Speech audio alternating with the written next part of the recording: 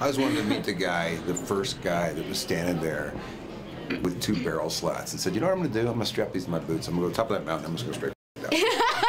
Who is that guy? Yeah, Just yeah. first, someone thought of that first. Yeah. And then told his buddy. He's like, hey man, you know what I'm gonna do? And the buddy's like, no, no, I'm not. Well, I'll wait for you at the bottom. And then he did it enough. And you know he fell on his ass the first time. Yeah. And then he did it again, repeatedly, and then thought about it. And now it's a sport. It's, Yeah. It's fascinating. I want to get good at skiing. Yeah, I'm teaching my daughter how to ski. Magical right now. feeling. That's the belly picking She's up so not- fast. Yeah, it's amazing. My kid is like six, and he's like, "See at the bottom, Dad." Yeah. You know, and you're like, "Wow, how?" about? Oh my God, they're so resilient. Their bones they break and they heal back in like a week. It's fine. Well, don't say that. Uh, you're not going to be nannying your child anytime soon. Just rub some It just in it. builds character, y'all. Or I don't know, pick up an L card. I don't anymore. I know. got her this really cute easy, neck brace. It matches her uh, boots.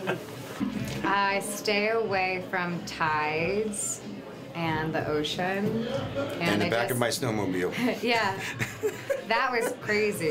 I had to get comfortable on the back of a snowmobile going 60, 70 miles per hour while we were just in a blizzard on the top of a mountain around here, 11,000 feet up.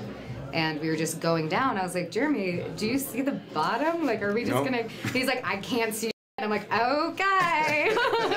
and you just trust it, and you just have to go with it. I don't know. I just learned how to ski for New Year's, and that was like a magical experience, uh, sliding on ice. And I, I, I don't know. I, I, I give in to nature. I never try and let it beat me down. I enjoy, I don't know, being a part of it. I love just being anywhere outdoors. Why I left New York City.